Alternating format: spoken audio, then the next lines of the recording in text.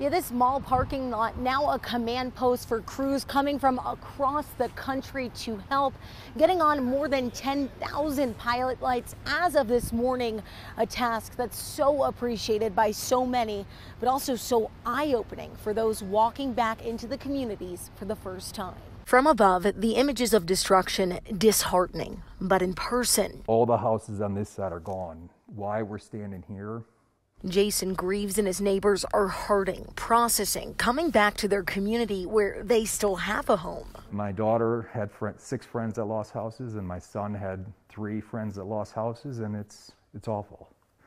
And I just want to do everything I can to help from this point forward because I'm blessed that this house is still here. Help. What neighbors are receiving along Greaves Street today. Xcel Energy.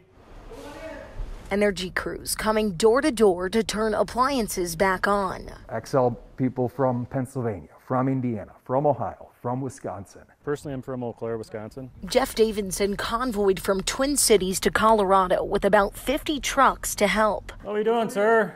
Good.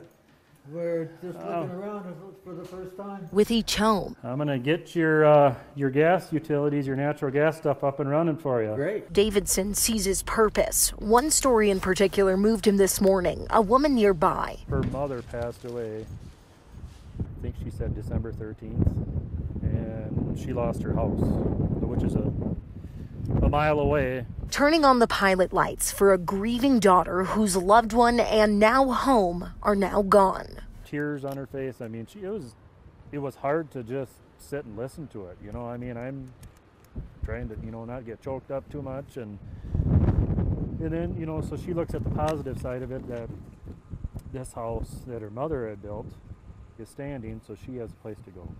So this morning we estimated 10,000 pilot lights relit. That number they have to complete, all of them, 13,000. So if you still need yours done, Xcel says to call them after the evacuation in your community is lifted and you're able to get back home. That number on this story on our website. Nicole Fierro, 2 Prime News.